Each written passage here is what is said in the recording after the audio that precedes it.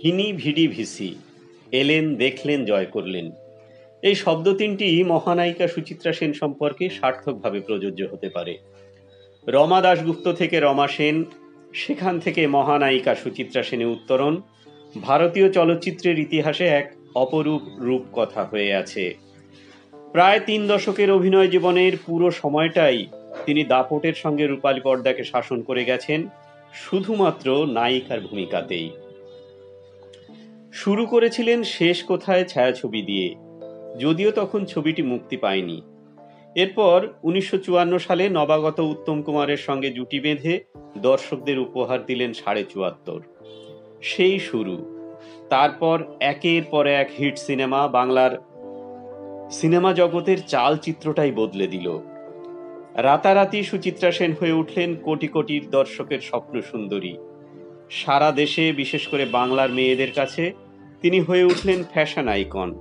তার শাড়ি পরার ধরন, মেকআপ, তার ব্যবহৃত ব্যাগ বা অন্যান্য সামগ্রী, সিনেমায় নায়কের দিকে ঘাড় বাঁকিয়ে তাকানোর ধরন সব কিছুই মেয়েদের কাছে অনুকরণীয় হয়ে দাঁড়াল। তার হাত ধরেই বাংলা চলচ্চিত্র জগৎ পুরনো ধারার অভিনয় শৈলীকে অতিক্রম করে সম্পূর্ণ আধুনিক ধারায় পরিবর্তিত হলো। সিনেমা জগতে তার আগমন উত্থান হয় উল্কার গতিতে। কোনো প্রথাগত প্রশিক্ষণ ছাড়াই অভিনয় জীবন শুরু করেন এবং তার নিজস্ব নৈপুণ্যেই তিনি দর্শকদের হৃদয় জিতে নেন। সাড়ে চুয়াত্তরের পর তার অভিনীত অগ্নিপরীক্ষা পথে হলো দেরি।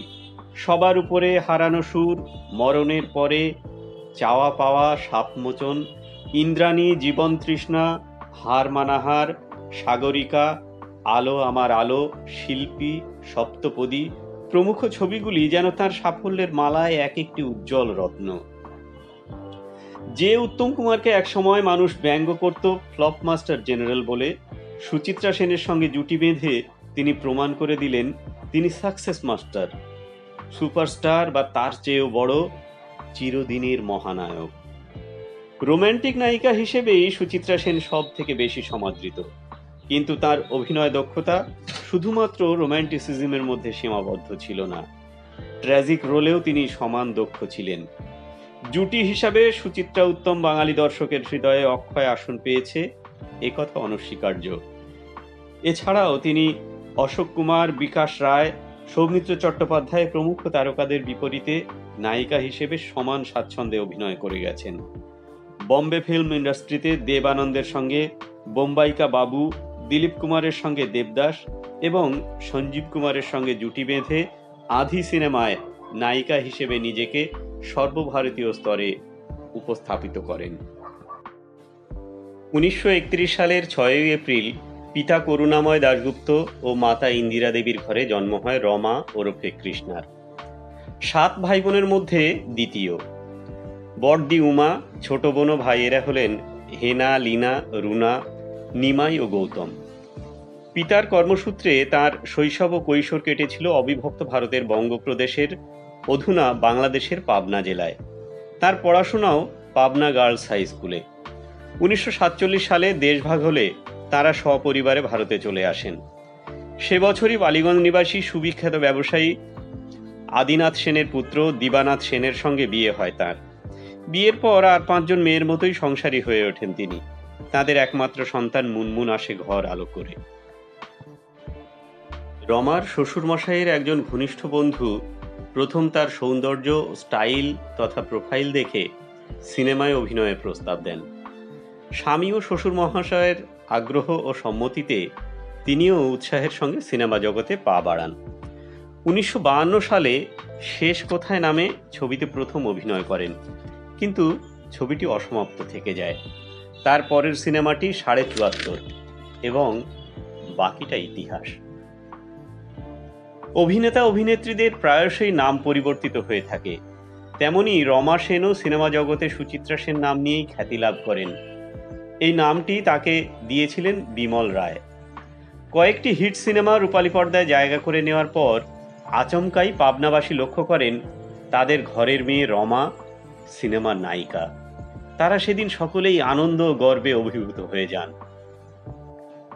অভিনয় জীবনে তিনি বহু জাতীয় ও আন্তর্জাতিক পুরস্কার লাভ করেছেন।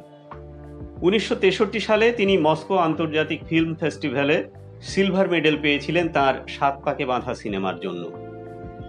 কোনো বাঙালি অভিনেত্রীর প্রথম কোনো আন্তর্জাতিক সম্মান পাওয়ার উদাহরণও এটি।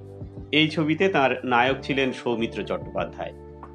উনিশশো বাহাত্তর সালে পেয়েছিলেন ভারতের সর্বোচ্চ অসামরিক নাগরিক পুরস্কার, পদ্মশ্রী।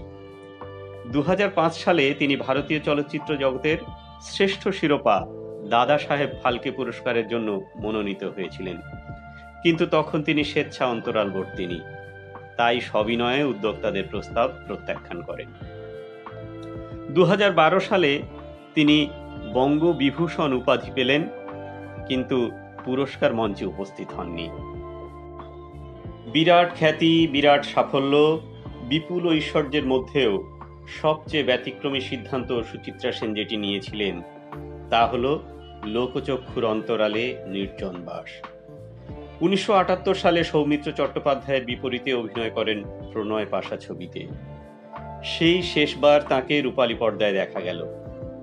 হঠাৎ তিনি নিজেকে সরিয়ে নিলেন। আর একবার সামনে এলেন চব্বিশে জুলাই উনিশশো আশি। যেদিন তার প্রিয় মহানায়ক উত্তম কুমার চিরবিদায় নিলেন। নিস্পন্দ মহানায়কের চিবুক স্পর্শ করলেন আলতো হাতে। তারপর সেখান থেকে ফিরে গেলেন। আর কখনো তিনি এই সাধারণের জনারণ্যে দেখা দেননি।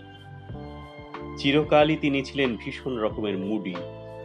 তার মনের গহনে কি ভাবের হচ্ছে, তা কেউই জানে না। অনেকেই তাকে খুব অহংকারী বলে মনে করতেন। কিন্তু তিনি মহানায়িকা সুচিত্রা সেন। তার চলন, বলন বেশভূষা সব ক্ষেত্রেই তিনি অনন্যা। মুডের ক্ষেত্রেও তাই। আর শেষ জীবনের এই নির্জন বাস, তিনি যেন কোনো সাধিকার সাধনার পর্যায়ে নিয়ে যান। হাতে গোনা কয়েকজন ব্যক্তি ছাড়া কখনোই কারও সঙ্গে সাক্ষাৎ করতেন না। অভিনয় জীবনের চূড়ান্ত সাফল্যের দিনেও রহস্যময়ীর মতো ছিল তার জীবন। নায়িকার ভূমিকায় থেকেই সেই গ্ল্যামারাস জীবনকে বিদায় জানিয়ে যে বিরাট কৌতূহলী জীবনকে তিনি বেছে নিয়েছিলেন, তাতেও তিনি চির রহস্যময়ী হয়ে রইলেন। দু হাজার চোদ্দ সালের সতেরোই জানুয়ারি জন অন্তরালে থেকেই চিরবিদায় নিলেন তিনি। এটা ছিল তার নশ্বর দেহের মৃত্যু। সুচিত্রার কোনো মৃত্যু নেই। কোটি কোটি দর্শকের হৃদয়ে তিনি বেঁচে আছেন। অপূর্ব সুন্দরী, সুকণ্ঠী, সুনয়নী, স্বপ্নের নায়িকা হয়ে। আর বেঁচেও থাকবেন ততদিন, যতদিন বাংলা সিনেমা থাকবে। কারণ তিনি হলেন আমাদের গর্বের, আদরের শ্রদ্ধার, ভালোবাসার, একান্ত প্রিয় স্বপ্ন নায়িকা, মহানায়িকা সুচিত্রা সেন। শুভ জন্মদিনে তাকে জানাই অন্তরের সশ্রদ্ধ প্রণাম।